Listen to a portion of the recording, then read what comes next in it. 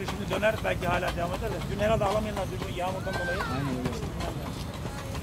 This is statue of Shakespeare, the one that's standing here. Oh yeah, I can oh, yeah. see that. Yeah. And the other one down Shakespeare. Robert Burns. Ah.